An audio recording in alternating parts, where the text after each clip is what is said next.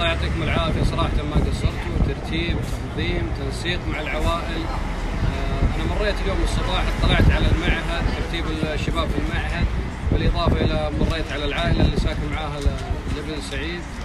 آه، الأمور كلها مرتبة الحمد لله. تنسيق داخل البيت نظافة العائلة الاهتمام الترتيب من وإلى.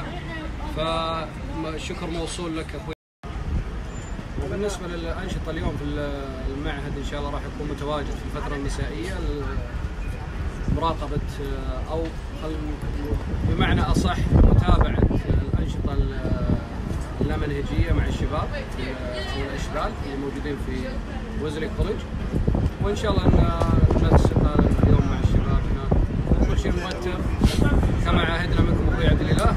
والله يعطيكم العافية. صراحة التنسيق كان ممتاز. الانشطه الصفيه كانوا الشباب موجودين في الفترة المسائية الألعاب الرياضية. وبعدها كان في بعض الأنشطة اللامنهجية. آه، تفاعل بينهم وبين بعض الطلاب من الدول الأخرى. تكثيف اللغة الإنجليزية عندهم وممارسه فعلية مع الشباب اللي من سنهم من جنسيات أخرى.